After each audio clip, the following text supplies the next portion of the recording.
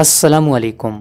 جب کوئی بندہ اللہ تعالیٰ کے سامنے دعا کے لیے ہاتھ اٹھاتا ہے اور کچھ مانگتا ہے، تو اللہ تعالیٰ کو بھی اس بات سے شرم آتی ہے کہ اس بندے کو خالی ہاتھ واپس بھیجے۔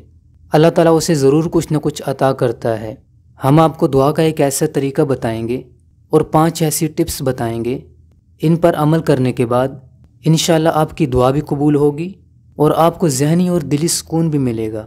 تو سب سے پہلی چیز یہ ہے جب آپ دعا مانگنے کا ارادہ کریں، تو اس وقت سب سے پہلے آپ وضو کر لیں۔ آپ صلی اللہ علیہ وسلم نے ایک صحابی کے لیے دعا کی تھی، تو آپ صلی اللہ علیہ وسلم نے سب سے پہلے وضو فرمایا تھا۔ اور وضو سے طہارت حاصل ہوتی ہے۔ اور جتنا زیادہ بندہ پاک صاف ہوتا ہے، اتنا ہی زیادہ اللہ تعالیٰ کو پسند آتا ہے۔ اور دوسرے نمبر پہ آپ نے دو رکت نفل حاجت کے پڑھنے ہیں۔ آپ صلی اللہ علیہ وسلم نے یہی تعلیم دی کہ جب کسی چیز کی ضرورت ہو، تو وضو کرو۔ اور وضو کے بعد دو رکت نماز پڑھو۔ جب بندہ حاجت کے دو نفل پڑھ لیتا ہے، تو اللہ تعالیٰ کے اور زیادہ قریب ہو جاتا ہے۔ پھر اللہ تعالیٰ کی ذات بندے کی طرف متوجہ ہو جاتی ہے کہ، اے بندے، تو مانگ تجھے کیا چاہیے؟ اس کے بعد آپ نے تیسرے نمبر پہ کیا کرنا ہے؟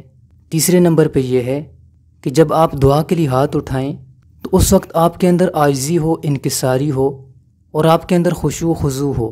یعنی اللہ تعالیٰ کا ڈر بھی ہو آجزی بھی ہو آپ اللہ تعالیٰ کے سامنے ایسے ہی مانگیں جیسے آپ کوئی چیز مانگ رہے ہیں۔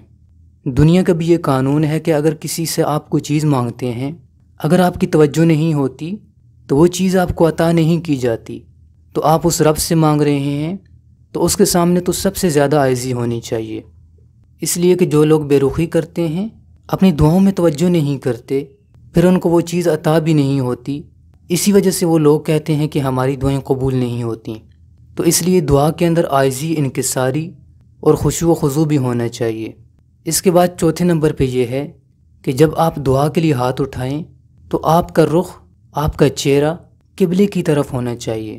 آپ صلی اللہ علیہ وسلم جب کوئی خصوصی دعا کیا کرتے تھے تو اسی طرح قبلے کی طرف چہرہ کیا کرتے تھے۔ جس طرح بندہ نماز کے اندر قبلے کی طرف کھڑا ہوتا ہے، ایسے ہی اگر دعا کے اندر قبلے کی طرف منہ کیا جائے تو قبولیت کے زیادہ امکانات ہوتے ہیں۔ اور پانچویں نمبر پہ آپ نے یہ کام کرنا ہے کہ جب دعا مانگیں تو دعا میں سب سے پہلے اللہ تعالیٰ کی خوب تعریف کریں۔ ہماری تعریف کرنے سے اللہ تعالیٰ کی شان میں کوئی کمی بھی نہیں آتی اور نہ اس کی شان بڑھتی ہے۔ وہ تو کسی کی تعریف کا محتاج نہیں ہے، لیکن اس میں ہمارا ہی فائدہ ہے۔ جب اس کی تعریف کریں گے تو وہ خوش ہوگا۔ اس کی تعریف کے لیے آپ اس کے مختلف نام لے سکتے ہیں۔ یا رحمان، یا رحیم، یا اللہ۔ مختلف ناموں سے اسے پکاریں۔ اور اس کے بعد آپ صلی اللہ علیہ وسلم پر درود پاک پڑھیں۔ جب درود پاک پڑھا جاتا ہے، تو اللہ تعالیٰ خوش ہوتا ہے، اپنے بندے کو بہت کچھ عطا کرتا ہے۔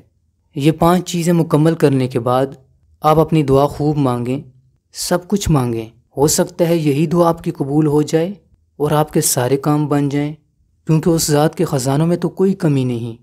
ان پانچ باتوں پر عمل کریں، اس سے دعا بھی قبول ہوگی، دل اور دماغ کا سکون بھی حاصل ہوگا۔ اور آپ کو پتہ چلے گا کہ آپ نے دعا مانگی ہے۔